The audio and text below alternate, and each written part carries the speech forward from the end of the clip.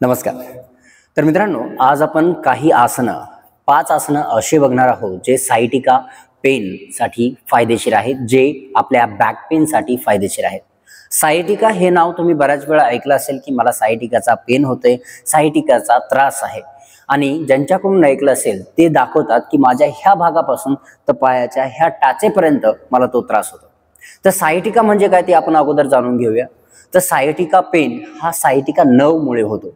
एक सायटिका नव असते ज्या जी आपल्या लोअर बॅकपासून चालू होते ती आपल्या हिपच्या हिपच्या डीप टिश्यूमध्ये असते आणि हळूहळू खाली थाईजमध्ये येते.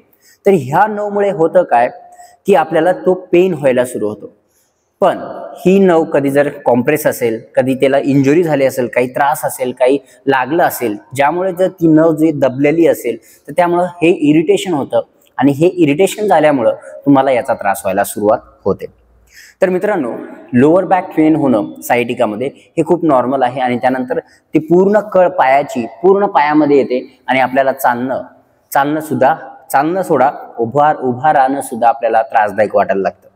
तर याचसाठी ह्याच सायटिकाच्या पेनसाठी हा सायटिकाचा त्रास कमी करण्यासाठी मी आज काही आसने तुम्हाला सांगणार आहे. ती तुम्हाला झोपून करायची आहे. तुम्ही आरामात झोपून करू शकता.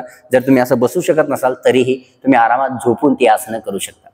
तर मित्रांनो सगळ्यात पहिलं आसन झोपून करण्याचं जे आहे ते म्हणजे ब्रिज पोच ज्याला आपण सेतू बंध असं सुद्धा म्हणतो. त्याच्यासाठी आपल्याला पाठीवरती झोपायचंय त्यानंतर हळूच आपले दोन्ही पाय अशा पद्धतीने फोल्ड करायचे. पाय फोल्ड केल्यानंतर गुडघ्यांमध्ये अंतर असेल पायामध्ये अंतर असेल आणि हळूच हळूहळू आपल्याला जे आहे अशा प्रकारे आपले हिप्सला वरती घ्यायचे आणि इथं काही वेळ थांबायचं आहे. श्वास घेत राहायचंय श्वास सोडायचा नाहीये. काही श्वास थांबल्यानंतर हळूहळू खाली यायचंय आणि रिलॅक्स करायचं. आता इथूनच दुसरं आसन चालू होतं ते म्हणजे पवनमुक्त आसन. आता पवनमुक्त आसनसाठी काय करायचं? दोन्ही गुडघे आपल्या छातीकडे घेण्याचा प्रयत्न करायचा. आणि त्याला अशा पद्धतीने आपल्याला इंटरलॉक करून छातीकडे प्रेस करायचं.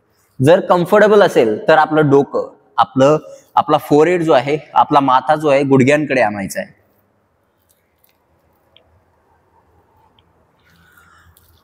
रिलीज अगेन रिलॅक्स आता तिसरं जे आसन आहे ते म्हणजे पिजियन स्ट्रेच याच्यामध्ये करायचं काय आपल्याला? एक पाय फोल्ड करायचा आहे त्याचा अँकल जो आहे घोटा जो आहे दुसऱ्या पायाच्या नीच्या गुडघ्याच्या शेजारी ठेवायचा थायवर. आणि हळूहळू दुसरा पाय उचलून दोन्ही हात पायांच्या मधून घेऊन हा जो हात आहे अशा पद्धतीनं ह्या हा जो भाग आहे मोकळा ह्या भागातून घ्यायचा आहे आणि हा बाहेरून घ्यायचा आहे. घेतल्यानंतर आपल्याला अगेन इंटरलॉक करायचं आहे आणि हळूहळू आपल्याला स्ट्रेच करायचं आहे. छातीला वरती उठवायचं आहे आणि स्ट्रेच करत चालायचं आहे. हळूच रिलीज करायचंय आणि सेम विथ अदर लेग दुसऱ्या साईडनं सुद्धा आपल्याला सेम लेगला फोल्ड केलं नीला आपल्याकडे स्ट्रेच आणि रिलीज ठीक आहे?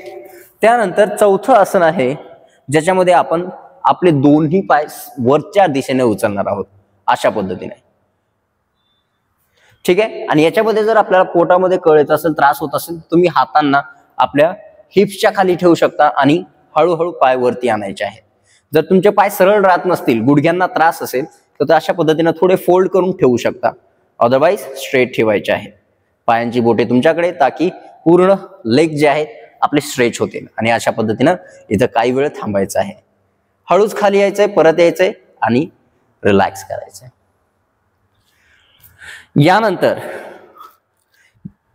तुम्ही चौथं जे आसन आहे यानंतरचं जे आसन आहे ते तुम्ही कसं करायचंय?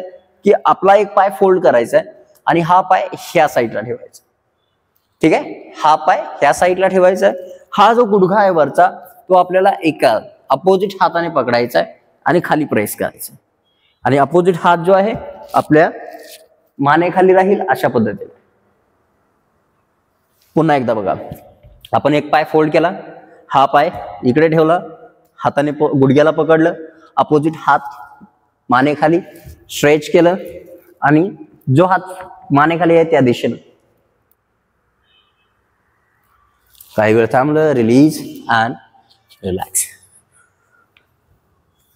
अशा प्रकारे ही आसने आहेत जी आसने करून तुम्ही सायटिकाचा पेन आहे किंवा लोअर बॅकचा जो पेन आहे तुम्ही कमी करू शकता. तर मित्रांनो अशाच नवनवीन व्हिडिओसाठी आपल्या चॅनलला सबस्क्राईब करा आणि हा जर व्हिडिओ तुम्हाला आवडला असेल तर आपल्या मित्रांमध्ये शेअर करायला विसरू नका. तोपर्यंत भेटूया दुसऱ्या व्हिडिओमध्ये. धन्यवाद.